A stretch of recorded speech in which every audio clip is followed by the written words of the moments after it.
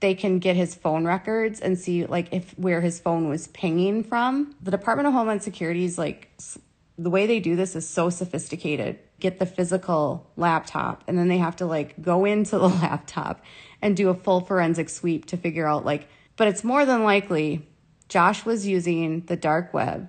He was in an internet chat room and he was talking to someone and that's how he got a hold of this information. Well, I mean, I, I'm just guessing. It's not like I ever go on the dark web or anything. It's just this is just what I've heard.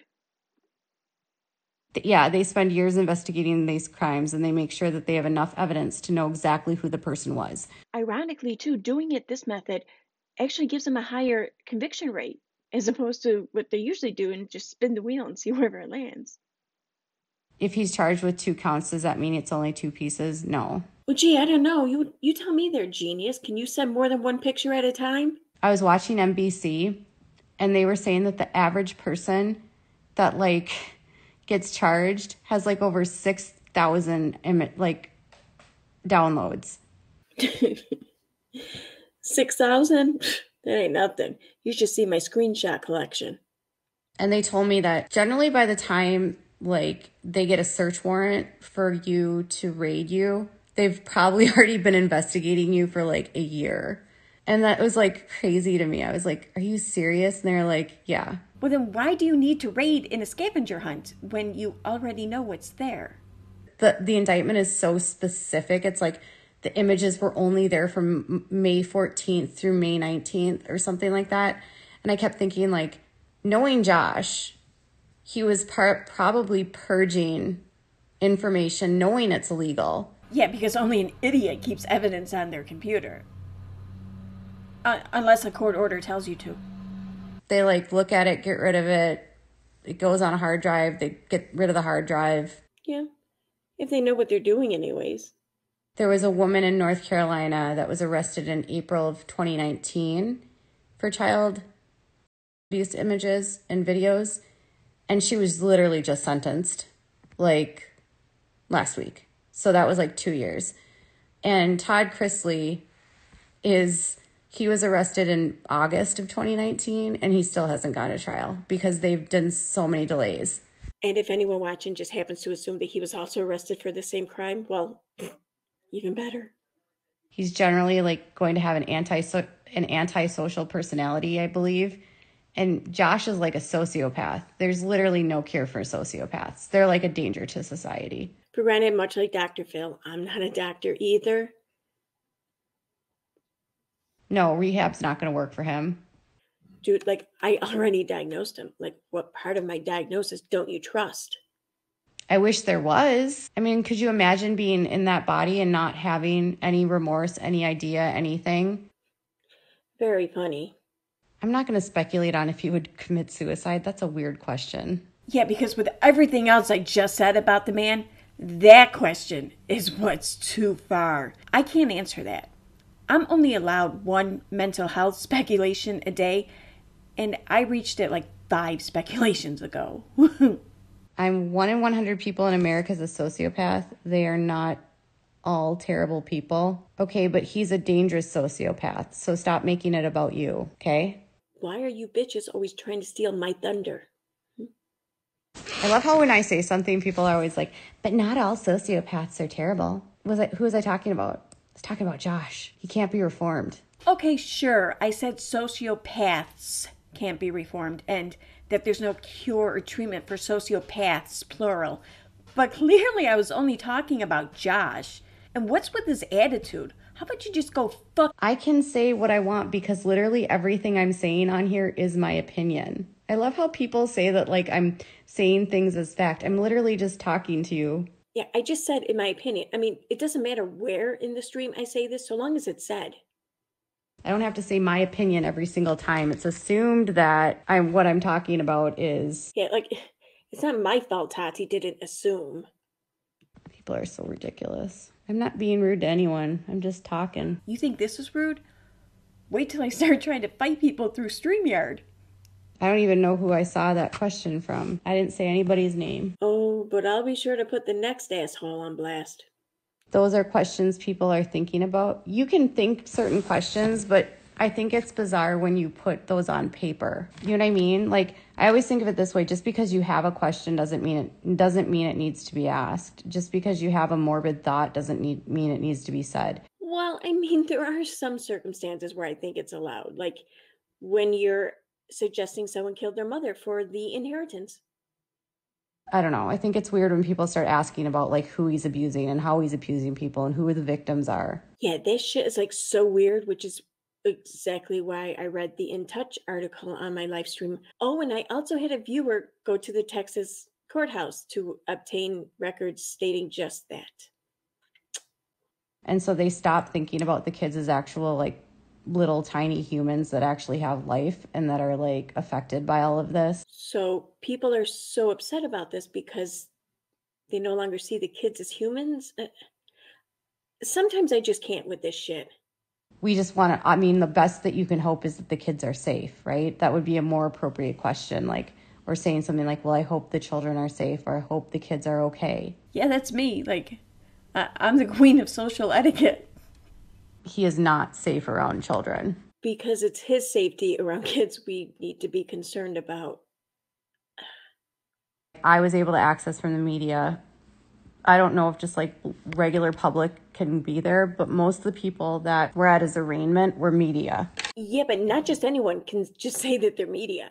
I mean, There's not a video of the arraignment. It's actually illegal to record arraignments. But screenshots are not recordings. Immediately, because it came from Reddit, I was then somehow accused of stealing a meme and taking credit for it. So, by me calling it a parody, isn't me saying that this guy created it. It's literally saying it's a parody. It's obviously not a real book, it's a joke. That right there should tell you, I know I did it, make the meme. I mean, I'm explaining the meme. Who the hell explains the meme? Went to Reddit this morning and saw Reddit oddly talking about a video I made, even though they falsely accuse me all the time of making shit up and stealing from them. And yet they're using my story that I said of Josh Duggar telling people that a shady ex con is the one who downloaded this material. And they're making memes out of that without giving me credit. But what bothers me is then when Reddit comes into my comments and gets nasty and accuses me of stealing things. I'm not stealing anything. I didn't make it. I never said I made it. Why are you guys so pressed? When I actually give you credit, you get mad at me and you say that I'm doxing you. Or if I share your usernames, you get angry and you say, You're doxing my username. Get my username off of your inst- Instagram. So it's like I can't win. And then as soon as I found out, I literally updated the description and I said it came from Reddit. Reddit, it's almost like no matter what you do, I will never leave you alone.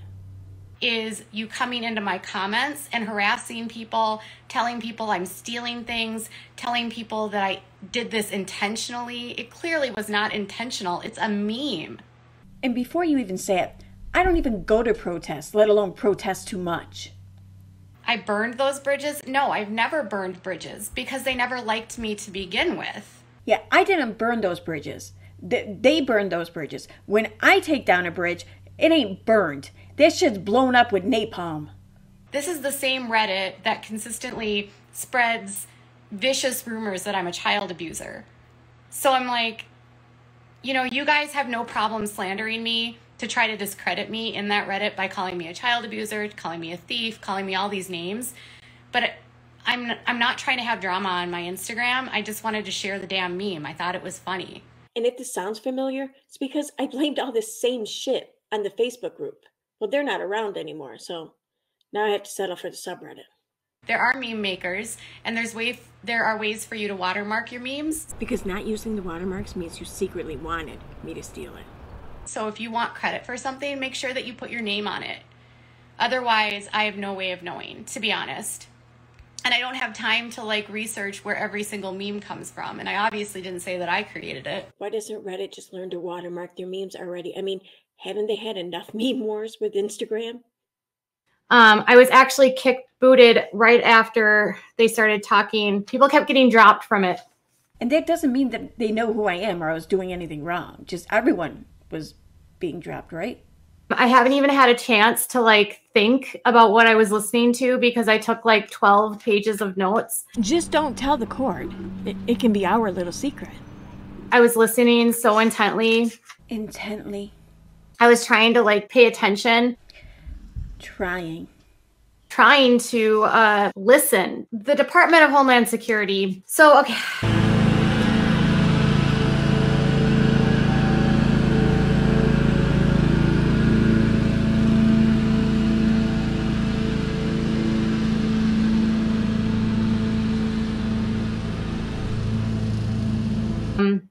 Hard to sit through testimony of seasoned Homeland Security investigators and talk about what they were looking at when they found what they found. I was like disassociating. I don't know if you can do that. I was trying to like very much disassociated. Yet these are the stories that I enjoy covering the most. Leaf blower. We don't even have leaves. Amy Duggar King. Oh, Well, if Amy wasn't considering an RO beforehand. okay, sorry. Someone was someone gave me a call to let me know all the details. Yeah. See, someone is my source, not Amy.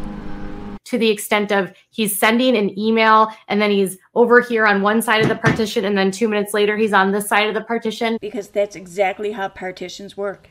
Just like cubicles. They were even talking about how complex of a like how technologically savvy you have to be in over, order to even understand how to do some of the things that he was doing. Like they were like your average user would have no idea how to do half of the stuff that he was doing, which tells the court and she said that she was like which tells the court the lengths that you will take in order to conceal and cover up your crimes. Like he was specifically trying to withhold information from his wife. So everyone who ever hit an app or a text is not your average user. Wait, wait, not your average user. We- We've all pretty much hit apps or downloaded apps to hide apps or pictures or text, right? I mean, Oh, someone said, wait, there's a GoFundMe for Anna. She doesn't. I feel like the last thing you want to do for Anna is do a GoFundMe. Like, this is not the public's responsibility to help Anna. Anna needs to figure this out by herself. Anna needs to stop relying on everyone else. Anna needs to take steps for Anna. It shouldn't be about the public bailing her out of this. This is not the public's responsibility, in my opinion, to pay for her. If I couldn't do a GoFundMe to take some people to court for talking shit about me on the internet, then she shouldn't get one. The only thing that happened to her is she lost everything and she has no means to support herself. She doesn't need one. Okay, now it's time for member shoutouts. I'd like to thank Sally Godfrey, Tiny Dancer, GGT, Tennessee Bell Mom, Faith Adams, Christ Conflict, Karen Collins, Paolo Dupree, Cancelled Sadfish, Lola W, Gam Gam Times 3, Crescendo, Tina Coley, Captain T, Susan Elliott, Rena Rue, Sunny D, Sassy Nas, Sensibly Morbid, Jessica, American Dream 2.5, Grace Case, Tifa, Busy Bee, Haiti Joyless, Jamie Schaefer, Nat, Bear Bear, D. Connor, Brit and Company, Bo Roundtree, Kathy Ann, Danny Marie, Keeping Up with KP, Betty Boop Wolf, allegedly Sue M, D. Marie, Claire Esper, Diane McCall, MB, Sam Shaw, da- Jamie Couchard, Jovi's mom, Holly Anna from Kalamazoo, Annette Carlson, Lola Pepper, Ellie R. Illusion, Sally Georgia Peach, Police Wife Life, Angel Cake, Nana Hawk, JC M, Kimberly Roddy Mom, Look What the Cat Dragged Did, Nancy P, Stina Marie J, Dottie Morgan, Atticus Finch, Absent 12, Plays and Rain, Sh- Sherry Landscaping, Trisha Biggs, Crystal, Sky Vision, Karma Kid 101, Sleepy Superhero, Shaz Z, Camilla, Leah, Jeanette Little Red Gel, Gentry Art, Changing Cupcake, Pink Flamingo, Jen Gerard, Poodlerific, Tina Colry, and Yoo-Hoo Shoo Shoo.